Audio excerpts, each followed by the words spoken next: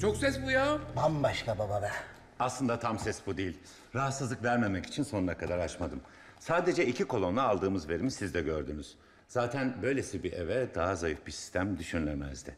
Özel bir tasarım ürünü olup elimizde sayılı adette bulunan bu sistemi sadece hatır sayılır ve advanced düzeydeki müşterilerimize öneriyoruz. Evet evet.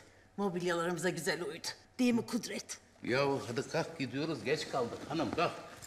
Sen yukarıdan benim saatler aldın mı? Aldım aldım. Kasanın anahtarını. Onu da aldım. Ya iyi. Çünkü senin bu akıllı oğlun onların parasını tutar kasadan öder. Para nasıl kazanılır bilmez ki hiç hayatında çalıştı mı ki? Onun için her şey hayat lay lay lom. Ne lan bu para ki? Sistem baba niye yani? Kaç para bunlar? Efendim sistemimiz karaoke kolonları, DJ kabini ve projeksiyonla birlikte KDV hariç 45 bin dolardır. Ne? 45 bin dolar mı?